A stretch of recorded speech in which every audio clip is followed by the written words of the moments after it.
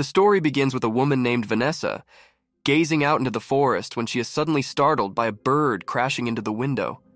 Going outside, she discovers the bird's lifeless body. Her husband, Alex, joins her, offering comfort by suggesting that his mother used to say that dead birds symbolize new beginnings. However, when he reaches for her hand, she withdraws and returns inside. The following day, Vanessa looks out the window again and questions Alex and his brother Martel about a potential explosion they might have heard the previous night. Both deny hearing anything, and Martel reveals that the Forest Activity Center was shut down due to suspicious occurrences, leading to people disappearing when associated with the facility, suggesting it might have something to do with the explosions. Alex dismisses this as a tale fabricated by their absent father, but Martel explains that their father left in search of something as hinted at in his journal. Feeling the need for solitude, Vanessa decides to hike alone.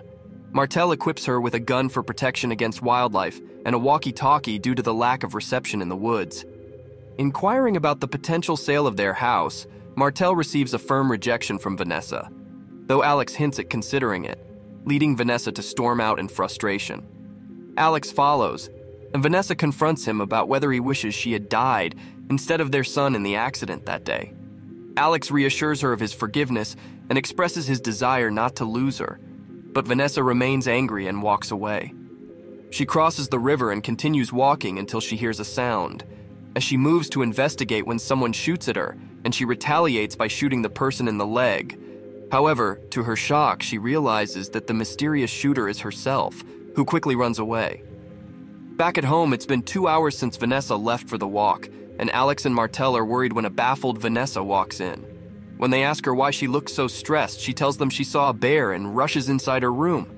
Alex follows her and reassures her that he loves her and that she should tell him why she looks so terrified. Initially hesitant, Vanessa eventually breaks down, admitting they can't continue pretending their son's death was an accident and that they need to confront it. She urges Alex to leave so she can be alone and cope with these feelings. Alex confides in Martel about losing their son a year ago, and now potentially losing Vanessa, and Martel comforts him. Later, Alex invites Vanessa to dinner, and she hesitantly follows him. Over dinner, Martel tells them the story of how he almost drowned when he was nine. He tells them that it changed his perception of life as initially he became an alcoholic, but eventually realized that everything is in the hands of fate and has been sober for a long time now. Vanessa thinks that Martel is trying to lecture her and decides to grab her things and leave. When Martel steps in to help her, he accidentally burns himself on the grill and quickly rushes inside. Vanessa follows him to find him pouring himself a glass of alcohol and confronts him if he lied about being clean. But before he can say anything, she notices the healed burn mark on his hand, to which Martel responds with, It's not as bad as we thought. He walks out the front door, and at the same time, another Martel walks in from the back door with his hand bandaged. This shocks Vanessa to the point that she rushes into her room. The following day, she ventures into the woods again in search of answers. She ultimately comes across a fence that has been locked. Disobeying the warning sign, she enters. After some time of trekking, she finds a massive hollow tree stem. She crosses it, and weird things start to happen. After a few more hours of walking and noticing a fallen tree on the ground, she eventually finds the same tree arch and discovers the exact identical scene on both sides of the arch. She freaks out, ties her scarf on one end, and begins to walk, marking her trail with markers on the trees. She runs into the arch again a short while later, but her scarf is missing this time. She looks for the marks she made on the trees but never finds them. She goes back to the fence, crosses it, now terrified, heads back home to tell Alex what's happened. He listens to her and depressively remarks that she sounds just like his father after she tells him she felt as though she was in a loop. She informs him that she saw herself in the jungle the other day, which made her afraid. Given that today is their son's death anniversary, Alex advises her to take some medication because he knows it will be difficult for her. But after Vanessa smacks him for calling their son's name so much, Alex begins to speak abruptly, stating that he has apologized a million times and that he is aware that Vanessa wishes he had passed away that day rather than their son. Vanessa is confused because she was driving that day and tells him that. But he, in return, informs her that he isn't at fault for the accident because he was stopped at the traffic light when all of a sudden a truck came and took them by surprise. When she tells Alex that she was the one driving again, he responds that he loves her, but that she requires immediate medical attention. When Vanessa notices the attitude, she knows that this is not her Alex. Martel then enters the room while wearing a bandage on his left hand. But Vanessa also recalls that he had injured his right hand. She heads back to the woods immediately after this and discovers the tree stem again. When she sees someone lurking around, she pulls out her gun and demands to see the imposter. Alex emerges, raising his hands in the air to indicate his submission, and tells her that he is an Alex from another universe and not her spouse. When Vanessa realizes he's not wearing the ring, she knows it's not her husband. He invites her to follow, and she reluctantly follows him to his small camp where he takes out his cigarettes. Vanessa is further shocked as her husband doesn't smoke. Alex argues that they are trapped in a multiverse where two versions cannot coexist, shocking Vanessa. Pulling out a notebook, he tells her he's a physicist and goes over the links of the forest to an interdimensional portal. When he finally asks her to describe Alex in her world, she responds that he is a kind math teacher who is a wonderful father. When she inquires about Vanessa in his world, he responds that Vanessa left him because she was never able to move on after the death of their son. He informs her that although he didn't believe her when she told him she was seeing strange things in the forest, he is now caught in the loop and has seen other Vanessas that he knows aren't his wife. When she asks him whether her kid might be alive in any reality, he responds that in every universe he has ever been, the son has either died or never existed. He advises attaching a fishing wire to a tree, tied between Alex and the other end to the tree arch, and then maybe trailing the wire will always bring them together, which can help progress their search for their original reality. When they enter the house in the first universe they visit, they start looking for a fishing wire in their garage, Martel sees them and starts crying and says, You said you will leave me alone. Alex and Vanessa are surprised by this answer, and after a moment they realize they are dead in this reality. Martel explains that he was the driver of the vehicle that killed Vanessa and Alex. He is traumatized by seeing them because he thinks they are ghosts, and they are haunting him for what he did. But knowing what actually happens, he probably sees other versions of Vanessa and Alex from time to time running into a similar situation, explaining why he said, You said you will leave me alone, as that hints that other version of Vanessa and Alex have promised him that. Before heading into the wilderness, they assure him not to put the guilt on himself and that his life should move forward. The fishing wire is fastened to the tree, and the code words are set to room 1111, bed 8, where their son was hospitalized for three months prior to his death.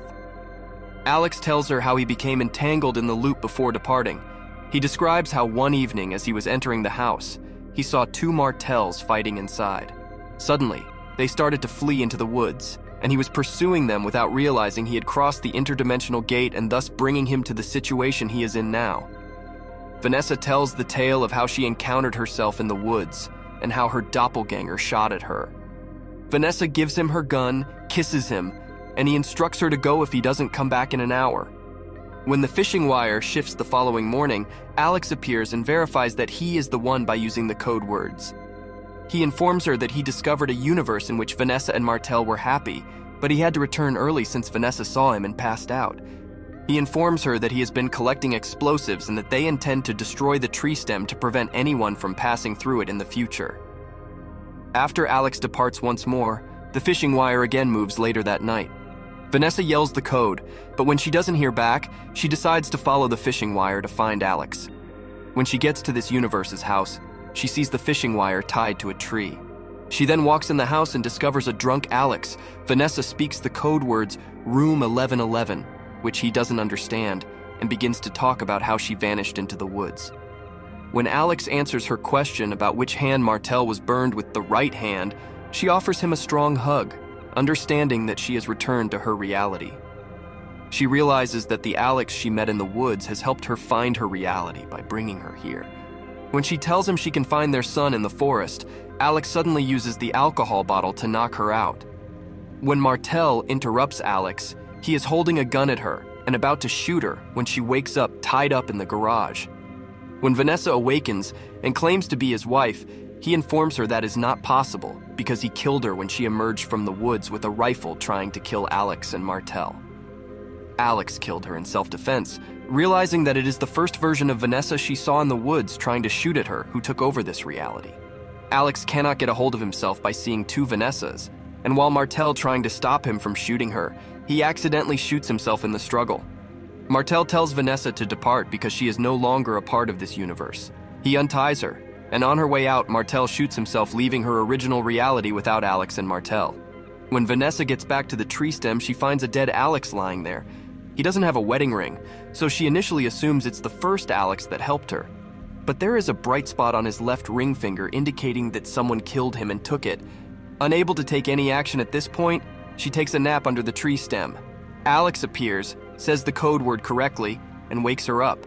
She quickly starts yelling at him for killing another world's Alex and taking his place, but he argues that he is not taking away anybody else's life but his own, and taking his rightful place, revealing the grim nature of his personality and willing to do anything to survive.